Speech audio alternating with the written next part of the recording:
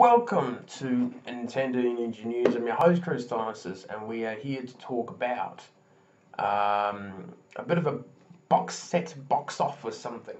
We're going to be comparing um, the two of these in terms of the box art. Now, some people complained that I did not show the box art very well for the uh, Super Nintendo um, review, which was disappointing because I thought I did. Um, yeah, it's interesting how people get really um, sort of uh, sensitive over things like that. Because I like the boxes, but they're not, but they're not the most important thing when it comes to the product. You know, you can't play with a cardboard box unless you're a cat.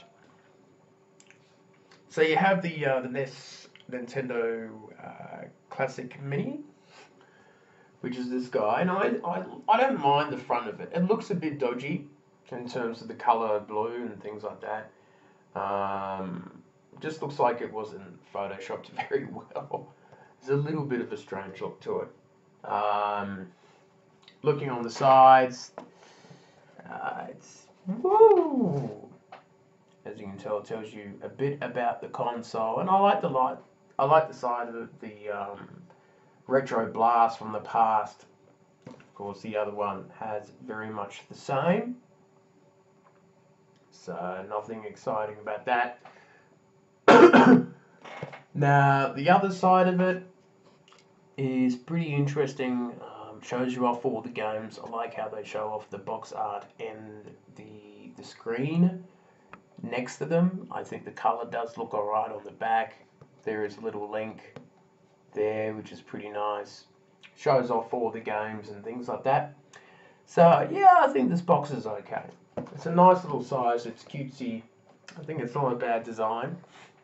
So you got the Super Nintendo one, um, which is pretty cool. I like the front cover of this a little better. it's got a nice background. The black and red goes well. It has Mario and Yoshi over here, which looks great. It's got that little seal of quality on it too as well as the NES version. Um, it is rated M, this package, unless the the um, the NES one was PG.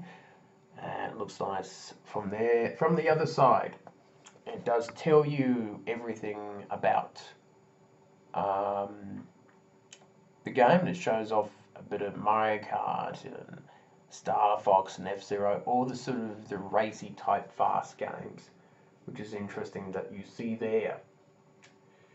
So, and it says, um, the Super Retro Blast from the past from the turn of the all fan favourite Super Nintendo Entertainment System, mini size, da da da da da. From the 90s, fully loaded and ready to play using original style Super Nintendo Classic controllers. So that's very cool. On the other side, you've got that, which is pretty stock standard, which is very nice and you have the back. Now the back is interesting because it looks a bit mashed up than the other one, and it's not as neat or as tidy. They're just trying to cram as many in there. I think they do get them all. Do they? Do they do 1, 2, 3, 4, 5, 6, 7, 8, 9, 10, 11, 12, 13, 14, 15, 16, 17, 18, 19, 20. Ah, yes. So they do squeeze all 20 in there. Of course, the more famous games are shown up in the big ones. Donkey Kong Country actually does sit up there. Super Metroid, F Zero, but all the Super Nintendo box art look great on the console itself, which is excellent, and all the games are lined up there too. So this box isn't so bad, I think. Um, I think personally, out of these two, I think uh, this box art looks better. I think looks pretty, pretty good. And um, just looks a little better, but I do like how organized the, the blue is on the back and that. I don't know, they could have changed something with this, but eh, we'll see.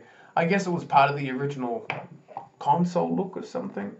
You never know, but um, it'll be interesting to see if they make an N64 um, mini classic, and we'll see what sort of box that looks like, because that that to me is more iconic because I grew up in that sort of generation when it came to Nintendo. So that is the little comparing thing, and um, that's it for me, and I shall see you later on.